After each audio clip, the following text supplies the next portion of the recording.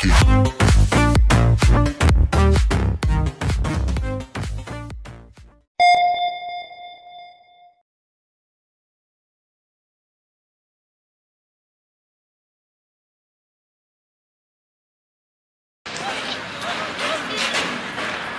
niño, que ya salió de la casa con muchachos. Los muchachos ya salió de la casa. Ay, Cristina, dame, dame el teléfono para llamar.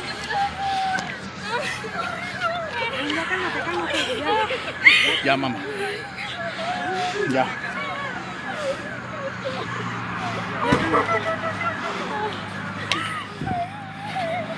Niño, ¿tienes minutos para llamar? No tengo, mamá. Esa vaina hizo duro, huevón. ¡Ey! ¡Ey! Guay. En este momento estamos sintiendo un sismo eh, bastante fuerte.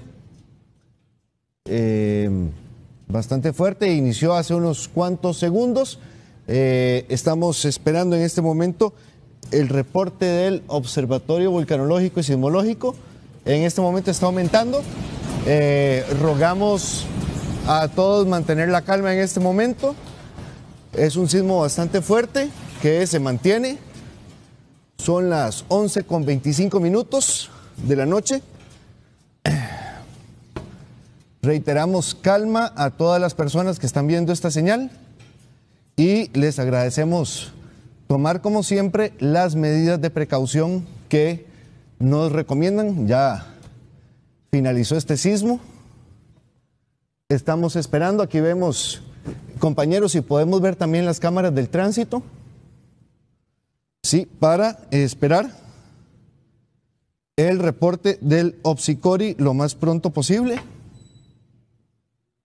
de las autoridades sismológicas para tener los datos de epicentro, profundidad y también intensidad del movimiento.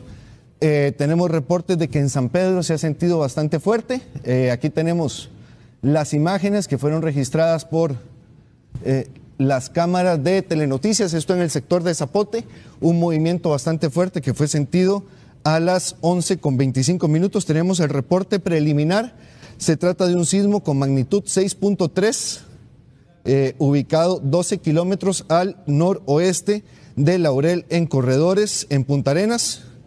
Como decimos, se sintió bastante fuerte en varias zonas del país. Eh, un sismo de 6.3 con epicentro en el, al noroeste de Laurel en Corredores. Este es el reporte preliminar que tenemos en este momento del sismo que se registró entre las 11 y 23, 11 y 24 minutos de esta noche.